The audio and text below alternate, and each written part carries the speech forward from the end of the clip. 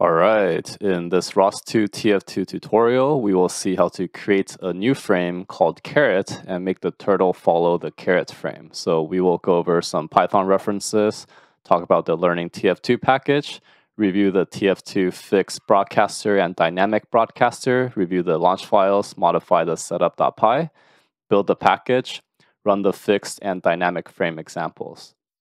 So by the end of this video, we will see this simulation where this turtle is following a carrot frame that's moving around.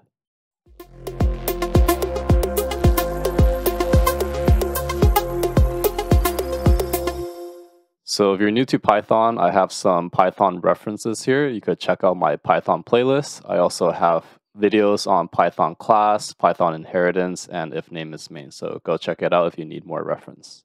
So in this folder, we have the TF2 package called the Learning TF2 Py package, which we will be using in our lesson. So inside of my Git, I already made the package. You could go ahead and copy that package and move it to your ROS2 workspace.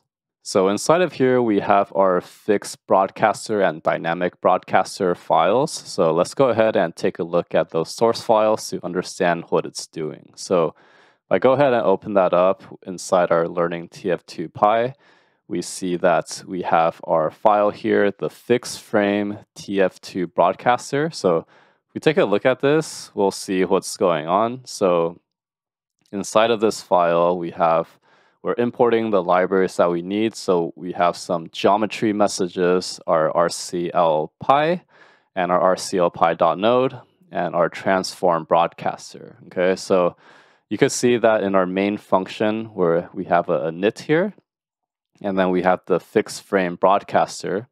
And then here we have our spin and then shutdown. So our main thing is our fixed frame broadcaster. So if we take a look inside, you see that we're inheriting from the node class. And when we make our constructor here, we have to give it a name called the fixed frame TF2 broadcaster. And then by using the transform broadcaster, we're going to store our TF broadcaster as a variable here. And then we also have a timer. So we create a timer and then we have a callback. So our callback is what's going to run at every time it uh, does a function call. So inside of here, we have a transform stamped called T. So this T has different properties. We have a stamp, frame ID, a frame ID for the child, so we have turtle1 and carrot1. And we also have some translation XYZ properties and rotation for the quaternion. And then here we will finally send the transform and that will get the information to the turtle. Now we have our dynamic frame broadcaster. So this is very similar except a little bit different. So here we have our dynamic frame broadcaster. So inside of our function here, we have inherit a node class and we are then creating our constructor here by using the transform broadcaster. And we have a timer here by using the create timer. So inside the uh, create timer, we run the broadcast timer callback. So we get the time using the clock.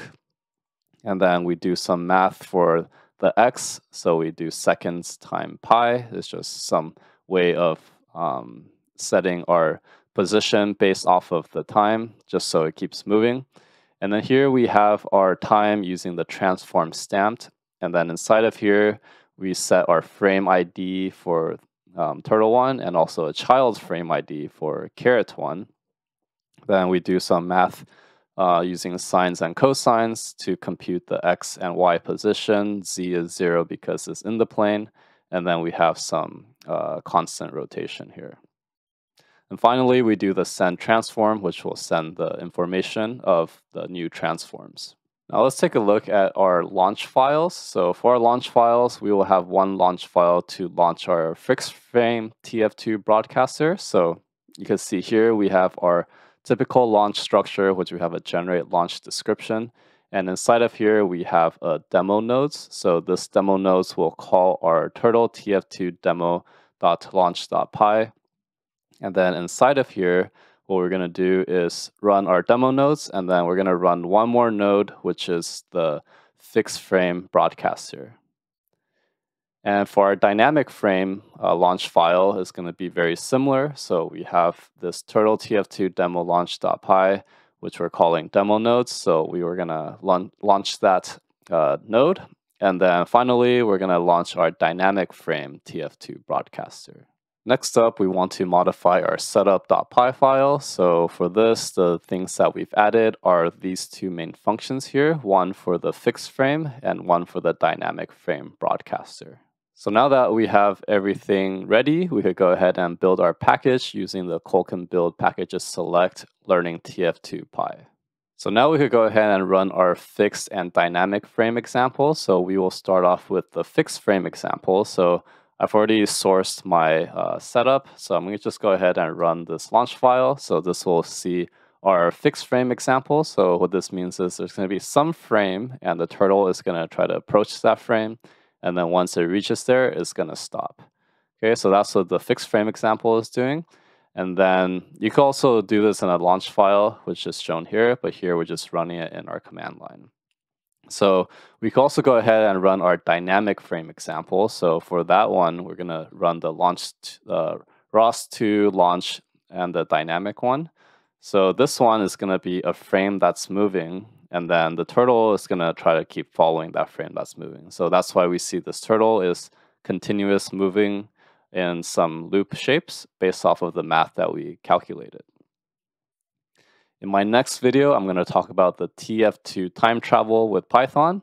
So that will be a demo where a turtle is following another turtle. So go check that out. If you found this video helpful, give a like and subscribe, and I'll see you in the next one.